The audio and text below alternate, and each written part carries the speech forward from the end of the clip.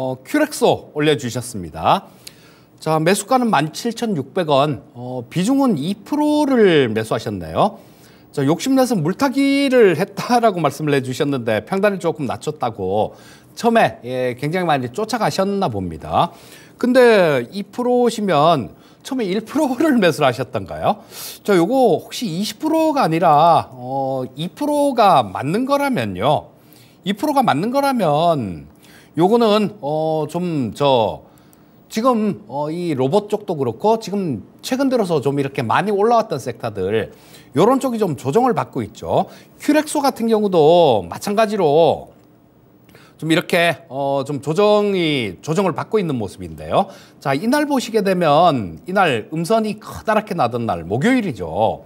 이때 어 거래량이 좀 터졌습니다. 한 115만 주 정도 거래량이 터졌는데 요거는 어 연기금 쪽에서 뭐한 11만 주 정도, 11만 5천 주 정도 매도가 나왔더라고요. 아마 어 최근 연기금 쪽에서 많이 산 종목들이 좀 변동성이 나오는 종목들이 조금 있었어요. 연기금의 포트폴리오 재편 뭐 그런 게 조금 있지 않았나 싶은 생각이 들고요. 자, 이 큐렉소 같은 종목도 일정 부분은 저점에서 매수하셔갖고 장기로 좀 들고 가셔도 좋은 종목이다라는 생각이에요. 만약에 뭐 20%라면 더 사면 안 됩니다. 근데 지금 올려주신 대로 2%시라면요. 2%시라면 충분히 추가 매수가 가능하다라는 생각이에요. 자, 요거를 어, 지금 뭐 이렇게 하락하는 구간, 조정받는 구간들 나오고 있는데요.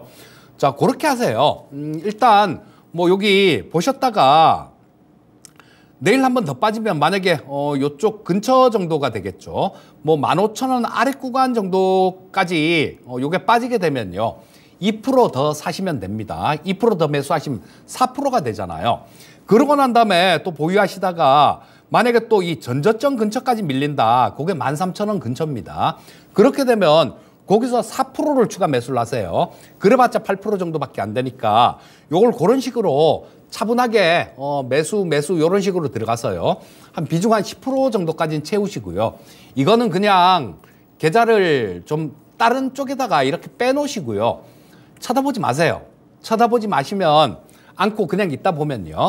요 큐렉스 같은 종목도 어, 나중에 뭐 올해도 모멘텀들이 좀 있어요. 어떤 게 있냐면 미국이나 유럽 쪽에 이 저 관절 수술 로봇 요쪽이 요런 거를 저 허가 신청을 할 겁니다. 그래서 올해 미국하고 유럽 쪽이 허가를 받는 걸 목표로 하고 있는데요. 그런 부분들이 좀 진행돼서 잘 진행된다라면 꽤 큰 상승도 가능할 겁니다. 자, 지금 현재 상태에서는 어, 말씀드린 가격대 그거 어, 참고하셔갖고 조금 더 사고 더 사고 이런 식으로 해서 모아가서 나중에 뭐 좀 시세가 나오면 그때 정리를 하시면 될 것 같고요. 자, 현재 상태에선 빠질 때마다 조금씩 추가 매수 의견 드리겠습니다. 네, 그다음